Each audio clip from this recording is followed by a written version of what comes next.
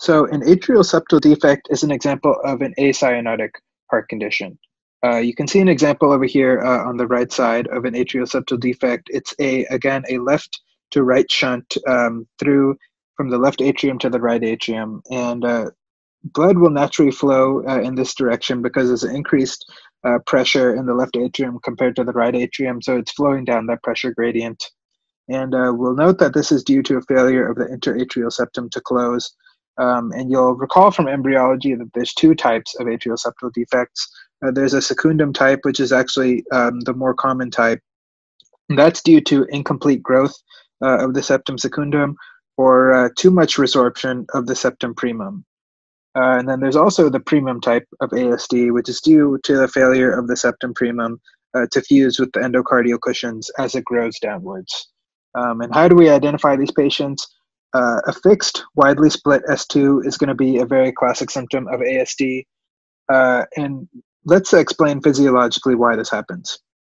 So, uh, you'll recall from normal physiology that in a normal person, when you take a deep breath, you have a drop in uh, intrathoracic pressure, and then you have, uh, as a result of that, increased venous return uh, through the vena cava into the right atrium. And as a result, you have a increased venous return into the right ventricle and an increased volume of blood being pumped out into the pulmonary artery.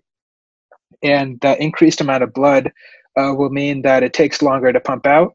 And uh, as a result, the pulmonic valve will close later uh, than the aorta, and that will cause a splitting of the S2. Now, uh, if we think about the case of an atrial septal defect, uh, it's not only with breathing in that we have an increased venous return. Now that there is a, with every beat, blood flowing down that pressure gradient from the left atrium into the right atrium with every beat. So now every beat, we have an increased amount of blood in the right ventricle and an increased amount of blood flowing out into the pulmonary artery. That means with every beat now, instead of just with breathing in, we have a splitting of the S2. And that's a very important symptom and a very important uh, physiology concept that you should be aware of. Uh, another thing to note, uh, you'll also have a uh, systolic ejection murmur. And why is that? It's because, again, because of this increased uh, amount of blood uh, flowing this way into the right ventricle, there's an increased amount of blood flowing past that pulmonic valve out of the right ventricle, and that causes that systolic ejection murmur, best heard in the pulmonic area. And then, how do we evaluate these patients? Again, echo is going to be the gold standard. And another concept that you should be aware of is um, thinking about O2 saturations in the different chambers in the setting of a heart defect. So um, again, let's explain some physiology here. Uh, we have this nice oxygenated blood that's just come out of the lungs in the left atrium, and now it's flowing again down that pressure gradient into the right atrium and uh, mixing with deoxygenated blood. But since uh, we have a little bit of oxygen from the blood coming uh, on the left side, we'll actually note that there's an increased uh, O2 saturation now in the right atrium. And uh, that's will remain true uh, as the blood flows into the right ventricle in the pulmonary artery as well. So if you were to measure the O2 concentration uh, in the right atrium or the right ventricle of an ASD patient compared to a normal patient, they would actually have an increased O2 saturation. Uh, so that's uh, definitely something to be aware of.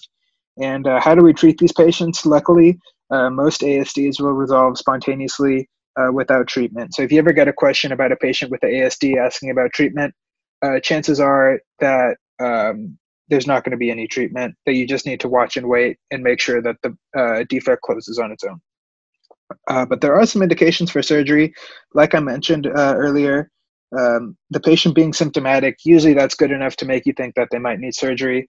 Uh, but additionally, if they're less than a year old with pulmonary hypertension, that's an indication for surgery.